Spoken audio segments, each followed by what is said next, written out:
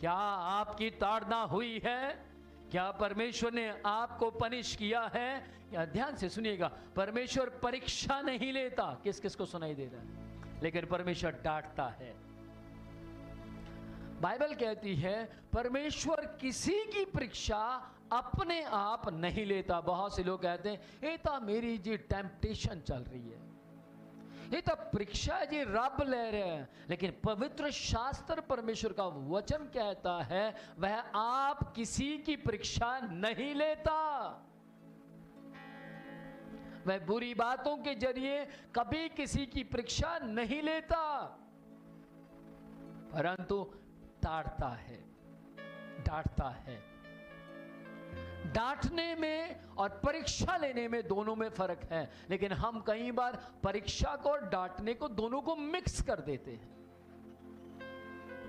जब हमें डांटा जा रहा हो तो हम कहेंगे, हमारी परीक्षा चल रही है। और जब हमारी परीक्षा चल रही हो तो हम कहते हैं, हमें डांटा जा रहा है। आपको समझने की ज़रूरत है। परमेश्वर किसी की परीक्षा नहीं लेता।